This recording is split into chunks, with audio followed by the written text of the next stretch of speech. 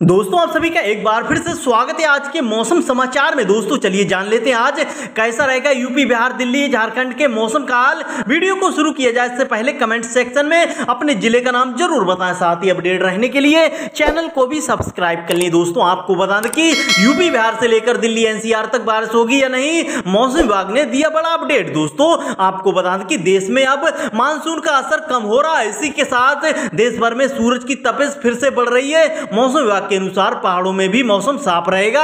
आपको बता दें कि मौसम विभाग के अनुसार झारखंड और बिहार के कुछ जिलों में आज भी बारिश हो सकती है। वहीं उत्तर प्रदेश में भी आज का मौसम साफ़ रहेगा। तो आइए जानते हैं, देश भर में आज मौसम कैसा रहने वाला है दोस्तों? कैसा रहेगा दिल्ली का मौसम? आज दोस्तों दिल्ली एनसीआर में तेज धूप खिली थी। दोस्तों, मौसम विभाग के अनुसार अगले दो दिन राजधानी में मौसम साफ़ रहेगा। इस दौरान बारिश की संभावना नहीं है, लेकिन कुछ इलाकों में बादल छाए रह सकते हैं, लेकिन बारिश होने के आसार नहीं है दोस्तों। दोस्तों, दोपहर होते ही दिल्ली में चटक धूप भी निकल सकती है। इसी वजह से राजधानी दिल्ली का तापमान भी बढ़ सकता है। आज दिल्ली का अधिकतम तापमान 36 डिग्री और न्यूनतम तापमान 25 डिग्री रह सकता है। दोस्तों, उत्तराखंड में मानसून पर लगा दी है ब्रेक। दोस्तों, पिछले कुछ समय से उत्तराखंड में लगातार बारिश हो रही थी। दोस्तों, वहीं अब उत्तराखंड में भी मानसून में ब्रेक लग गई है। दोस्तों, आपको बता दें कि आज दिन अधिकांश जिलों में मौसम साफ़ रह सकता है। दोस्तों, हालाँकि शाम होते ही तापमान गिर जग गिर गया गया है और यहाँ पर 24 यानी आज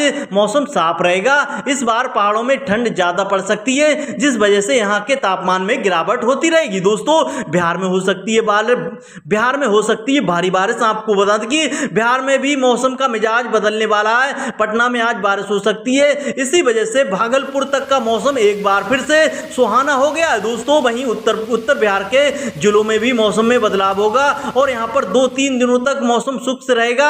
इसके बाद यहाँ पर बारिश हो सकती है। दोस्तों, उत्तर प्रदेश का मौसम कैसा रहने वाला है? आपको बता दें कि मौसम वैज्ञानिकों के अनुसार यूपी में आगामी तीन से चार दिनों तक मौसम सुहाना रहेगा। बारिश की कमी और बढ़ते तापमान की वजह से गर्मी से लोगों को परेशान रख दिया है। दोस्तों, हालाँकि मानसून की विदाई से पूर्व उत्तर प्रदेश में एक बार फिर बारिश हो सकती है।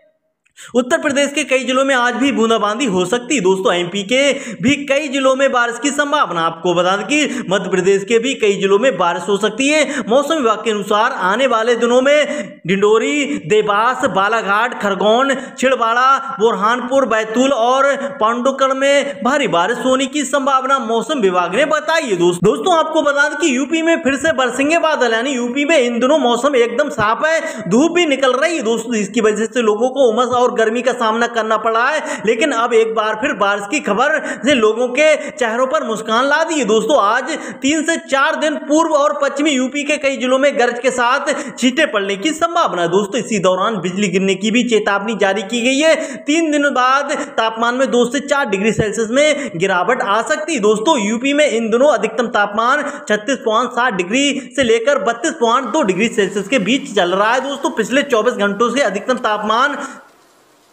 अधिकतम तापमान प्रयागराज में छत्तीस पॉइंट सात डिग्री सेल्सियस दर्ज किया गया है। राजधानी लखनऊ में अधिकतम तापमान चौंतीस पॉइंट एक डिग्री सेल्सियस रहा है। दोस्तों, वहीं न्यूनतम तापमान गाजीपुर में तेईस पॉइंट सात डिग्री सेल्सियस रिकॉर्ड किया गया है। तो दोस्तों, आपके यहाँ कैसा मौसम है और कब से बारिश नहीं हुई है, नीचे कमेंट बॉक्स में ज़रूर बताएँ। दोस्तों, वीडियो को लाइक करें, शेयर करें रोज़ाना। मौसम के ताज़ा अपडेट जानने के लिए चैनल को भी सब्सक्राइब कर लें। दोस्तों, फिर मिलेंगे अगली वीडियो में। तब तक के लिए जय हिंद, जय भारत।